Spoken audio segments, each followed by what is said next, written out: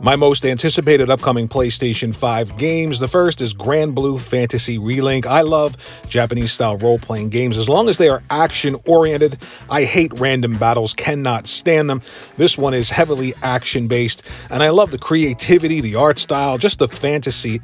And the creativity, again, that you get from these Japanese style games are something that really draw me in. This looks absolutely absolutely incredible. It is coming to the PlayStation 4 as well, but it's going to look the best on the PlayStation 5, and I can't wait to play this game. There's a lot of detail that came out recently in the new trailer about the combat system, about the characters, about the world, and if you're interested in this series, this is the latest in the franchise. There's something about these Japanese style role playing games that continually draw me in. They are like classic video games. They're creating worlds and fantasy characters, places that you cannot see. They're not driven by photorealism. If I wanted to see actual reality, I could just open the door and walk outside. I want to be transported to a new world. I want to see new things. I want to go on adventures and they always they always deliver. Next up for me is a game called Stray. Why? Because I love this sort of isometric top down 2D, 2.5D, even 3D elements all combined in this game. It's about exploration, it's about presence, and you get to play as a cat. Now, I've played as everything from a vampire hunter to a barbarian, never played as a cat, and it just looks interesting to me. It's one of those indie projects that I think. Um, you really wouldn't see from a big developer. And I like that. I like that they're taking this chance and they're giving me something that I haven't done before. Now, there's a lot to be learned in terms of what you're actually doing in this game. It looks like a puzzle solving slash exploration. And I like that. And I love the fact that I'm going to get to play with pussy cats. The next one I'm looking really forward to is Forspoken. Now, this is a two year exclusive on the PlayStation 5. So by default, it is an exclusive game.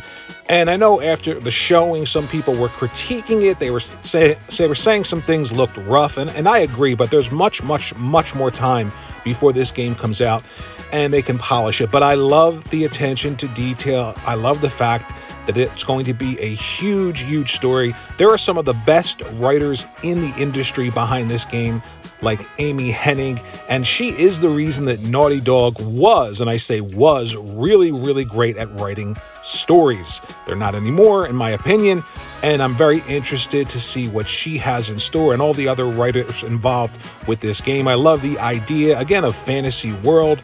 I know it's going to be rich with story and characters, and I just want to explore these environments. I want to live in this world and the exploration, exploration and the traversal. This is something that really caught my eye. I cannot wait to play this game on the PlayStation 5 when it releases next year. Of course, Horizon Forbidden West is right up at the top of my list and it's coming very, very soon.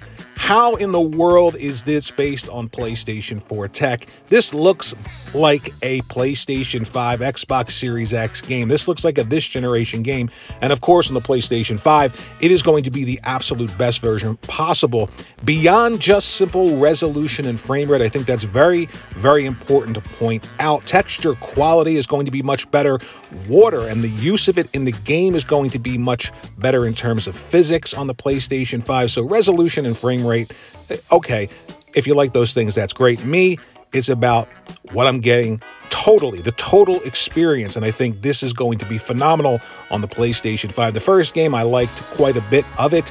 There were some issues, and I'm sure they're going to work really hard to resolve those issues. And I love creating new IP and having it be successful. And then, of course, that sequel is the moment that those new IPs usually shine. You look at Uncharted, and then you look what Uncharted 2 did for the franchise. I think Horizon Forbidden West is going to do for Horizon what that did. I cannot wait to just simply walk around this world and explore, slip into the water, explore under the water. It is going to be absolutely incredible. I am so excited for February to get here and to play Horizon Forbidden West. It looks absolutely incredible. And this is why you buy a next generation system. Yes, it's a it's a last generation game, but they're utilizing the system beyond just that baseline resolution and frame rate. And I think that is the key to Sony's strategy and of course making the best looking games that you can possibly get on console whatever generation you're in. This has me very very excited. Cannot wait to continue the journey with aloy in the world of horizon forbidden west. Out of all these games I'm excited about, the one that's going to make PlayStation 5 owners run out and purchase, and the one that's going to make people that don't have a PlayStation 5 run out and get a PlayStation 5 is Spider Man 2. The first game, absolutely phenomenal. Miles Morales, incredible. This is probably going to be one of the biggest games of the year when it releases.